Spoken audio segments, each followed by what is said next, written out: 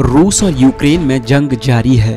रूसी हमले का यूक्रेन की सेना और वहाँ के नागरिक डटकर मुकाबला कर रहे हैं। विदेशी नागरिक भी इस युद्ध में यूक्रेन के लिए लड़ने वहाँ पहुँचने लगे हैं।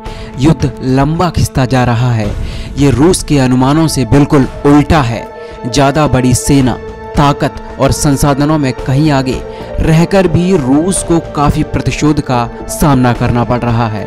इसके पीछे सालों से चल रही यूक्रेन की तैयारी है। यूक्रेन को रूसी हमले का अंदेशा पहले से था। इसलिए कुछ महीनों पहले से ही हज़ारों महिलाओं को भी सेना में शामिल किया जा चुका है। रेगुलर सेना से इतर देश के लिए लड़ रही इन महिलाओं ने युद्ध का रुख ही बदल दिया है। रूस यूक्रेन पर एक से दो दिन में कब्जा करने की मंशा रखता था, लेकिन युद्ध के छह दिन बाद भी रूस के हाथ कुछ खास नहीं लग पाया है। दूसरी ओर उसे इस युद्ध में काफ़ी नुकसान भी उठाना पड़ रहा है।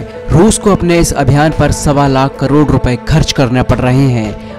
रूस ने 2014 में यूक्रेन की क्रीमिया प्रायद्वीप पर हमला कर उस पर कब्जा कर लिया था। डोनबास और लुहानसक में भी रूस के अलगाववादियों की मदद से हमला शुरू कर दिया था।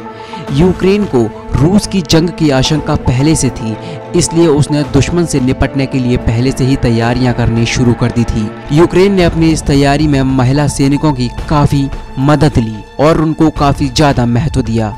यूक्रेन में चार साल पहले महिलाओं की बड़े पैमाने पर सेना में भर्ती शुरू हुई थी।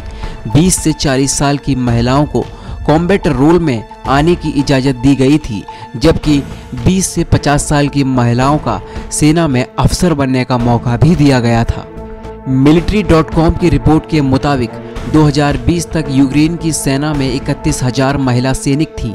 इनकी हिस्सेदारी पूरी सेना में 15 फ़ीसदी से ज़्यादा थी, लेकिन मार्च 2021 तक ये हिस्सेदारी बढ़कर 22 फ़ीसदी से भी ज़्यादा पहुँच चुकी है। यूक्रेन की सेना में लगभग हर चौथी सैनिक महिला है। यह हिस्सेदारी दुनिया के ज़्यादातर देशों से अधिक है।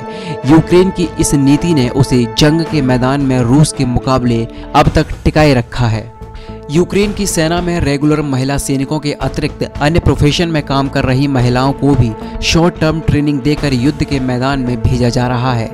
इनमें पत्रकार, लाइब्रेरियन, साइकोलॉजिस्ट, म्यूजिशियन को तरजीह दी जा रही है। सरकार के इस नियम के बाद बड़ी संख्या में सिविलियन महिलाएँ भी सेना में भर्ती होकर रूस के खिलाफ हथियार उठा रही हैं। जानकार बताते हैं कि यूक्रेनी समाज में सेना और सिविलियन में बहुत गहरा भेद नहीं है। वहाँ के लोगों को हमेशा से ही रूस से खतरा रहा है, जिसे देखते हुए महिलाएँ कहीं ना कहीं इस स्थिति के लिए पहले से ही तैयार थीं।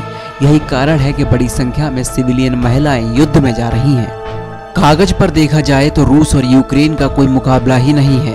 रूस की सेना में कुल उनतीस लाख सैनिक हैं, जबकि यूक्रेन की पूरी आबादी ही साढ़े चार करोड़ की है। यूक्रेन की सेना में कुल एक लाख दस हज़ार सैनिक हैं। ऐसे में यूक्रेन ने बड़े पैमाने पर महिलाओं समेत अपने सिविलियन को सेना में शामिल किया है। इसके लिए सेना भर्ती के नियमों में काफ़ी ढील दे रही है। यही कारण है कि पावरफुल होने के बावजूद रूस के लिए यूक्रेन को फतह कर पाना इतना आसान नहीं है। यूक्रेन की रणनीति का अगला चरण पिछले दो दिनों से देखने में आ रहा है। शीर्ष नेतृत्व की ओर से अपील होने के बाद अब आम नागरिकों ने भी हथियार उठा लिए हैं। रणनीतिक विशेषज्ञों का कहना है कि रूस के सैनिकों के लिए आम यूक्रेनी लोगों पर हथियार उठाना नैतिक रूप से अपनी ही सैन्य कार्यवाही की हर स्वीकारने जैसा होगा। इस जंग में जीत और हार किसकी होगी, ये तो अलग मसला है। मगर पहली बार दुनिया को महिलाओं की ताकत का अंदाज़ा हो रहा है।